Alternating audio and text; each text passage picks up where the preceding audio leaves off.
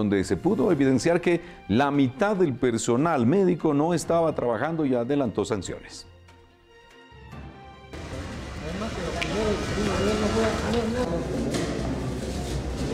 El concejal Rolando Pacheco realizó una inspección a los diferentes hospitales de primer y segundo nivel dependientes del municipio, en el cual se pudo evidenciar que el 50% de los médicos no estaban prestando servicio a la población. Estamos verificando de que los hospitales de primer y segundo nivel que son competencia municipal los galenos estén en su punto de trabajo. A los que no están trabajando, nosotros vamos a tomar medidas, el cual he solicitado al Ministerio de Trabajo que haga una inspección de la misma forma.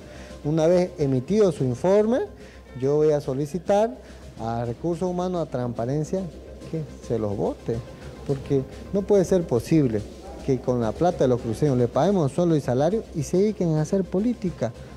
Marcan y se van en plena entrada a la quinta ola, este es un acto criminal, inhumano ante la sociedad, ante los cruceños. No vamos a permitir, voy a solicitar que se los retire a aquellos malos médicos que han abandonado su fuente de trabajo. Consulta externa está trabajando a media.